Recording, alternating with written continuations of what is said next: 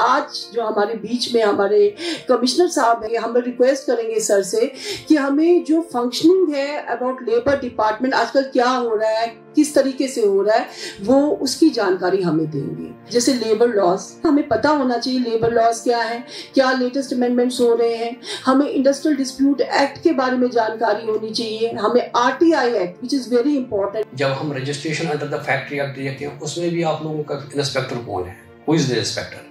there are two inspectors. One is for the purpose of occupational safety, that is inspector of factories. So far as बाकी चीज़ें जो है जैसे wages है minimum wages है या कोई और बाकी जो लॉज है वहाँ इंस्पेक्टर जो है ऑलरेडी डिफाइड जो है नोटिफाइड जो है वो हमारे जो लेबर इंस्पेक्टर्स लेबर डिपार्टमेंट में होते हैं फैक्ट्री के जो हमारे इंस्पेक्टर्स है वो basically on deputation from PWD department from the mechanical engineering department उनका वर्किंग उस हिसाब से देखना कि ये क्या प्रॉपरली फैंसेड बाकी चीज़ वगैरह। That is safety purpose rest inspectors are basically you people ठीक है? तो इन बिटवीन मैंने इसमें भी देखा there was some misunderstanding between the two inspectors कि असल इंस्पेक्टर वो है कि ये है inspector two inspectors obviously one is obviously for the safety purpose and another जो आप इंस्पेक्टर्स हैं वो ऑलरेडी हो गए जो बाकी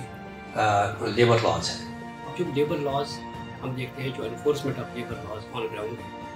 वो ऐसे है कि जो पर्पस होता है लेबर लॉज का वो ये है कि जो वर्कर्स होते हैं जो काम करते हैं फैक्ट्रीज में इस्टेब्लिशमेंट्स में उनकी जो वर्किंग कंडीशन और आ, बाकी safety measures health and working condition जो जैसे फैक्ट्रीज में भी होते हैं उनके लिए उन लेबर लॉज को इन्फोर्समेंट करने के इसमें हम देखते हैं कि जितने भी वर्कर्स होते हैं, जो फैक्ट्रीज या स्टैब्लिशमेंट में काम करते हैं, उनके वेजेस